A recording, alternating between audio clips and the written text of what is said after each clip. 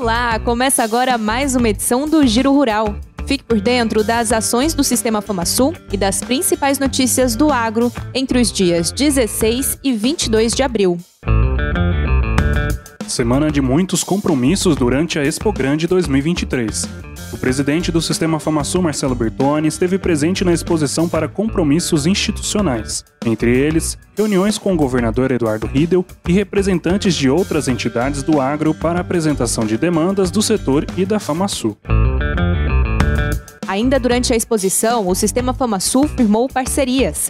Foram assinados termos de cooperação com a Acrisul e a BPO para adesão ao Clube de Benefícios do FamaSul Vantagens. A intenção é levar os benefícios oferecidos pelas empresas credenciadas do programa aos associados das entidades. Parceria firmada também com a Fundect e a Suzano Celulose para o desenvolvimento de ações de educação, como a realização do Prêmio Agrociência da FamaSul, que nesta quarta edição será realizada em parceria com a Fundect. As inscrições já estão abertas. E a parceria com a Suzano para capacitação profissional no setor florestal e assistência técnica e gerencial pelo Senar MS para as comunidades rurais do Cerrado em Mato Grosso do Sul. O presidente do Sistema FamaSul, Marcelo Bertoni, se reuniu com o secretário da Semadesc, Jaime Verruc, e representantes da AgroSéries, que trará novos investimentos para Mato Grosso do Sul.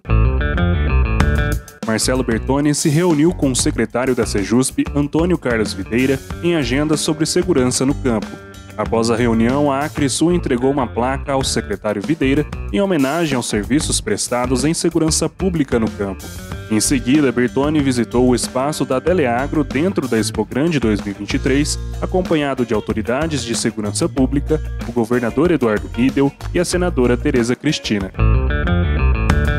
Presidente do Sistema FamaSul, Marcelo Bertoni, também esteve no primeiro encontro de lideranças da suinocultura de Mato Grosso do Sul, realizado pela Sumas.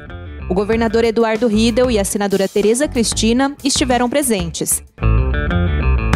Também na última semana estiveram na Casa Rural a secretária de Desenvolvimento Econômico de Sonora, Petra de Souza, e o chefe de gabinete da prefeitura do município, Tiago de Lima Matos, para a entrega do convite da segunda edição da Expo Sonora. Em outra reunião, Bertone recebeu o superintendente do Ministério do Trabalho de Mato Grosso do Sul, Alexandre Canteiro. O presidente do Sistema FamaSul também se reuniu com a senadora Tereza Cristina para tratar de ações do setor agropecuário sul-mato-grossense. Em Porto Murtinho, o Saúde do Homem e da Mulher Rural levou atendimento médico especializado para os moradores da região. O objetivo é a prevenção de doenças como câncer. Para acompanhar as notícias do agro em Mato Grosso do Sul, você já sabe. Acesse portal.sistemafamasul.com.br, cenarms.org.br e as nossas redes sociais. O Sindicato Rural do seu município também está à disposição. Até a próxima!